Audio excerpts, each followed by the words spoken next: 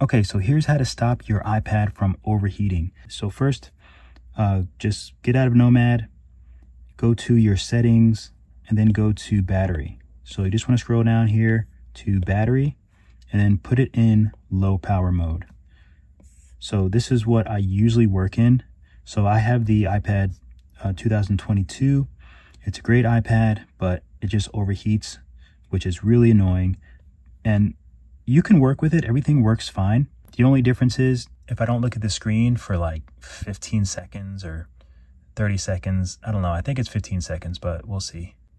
Okay, whatever that was, however many seconds, if you don't look at it, it dims out, uh, which is a bit annoying because sometimes I just don't want the screen to dim out.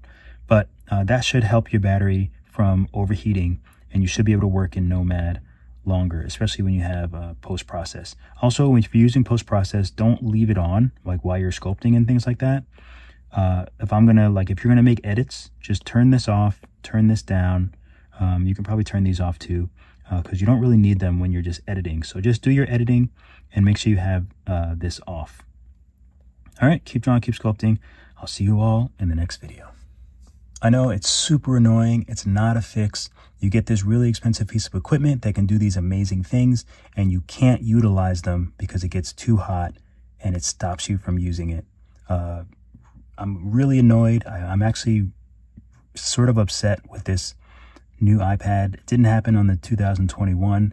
That iPad was perfect. I thought the upgrade was better, but now the upgrade, I'm forced to just use low power mode. So who knows? I, am probably not even using it to its uh, its greatest greatest advantages. But oh well, you live and you learn.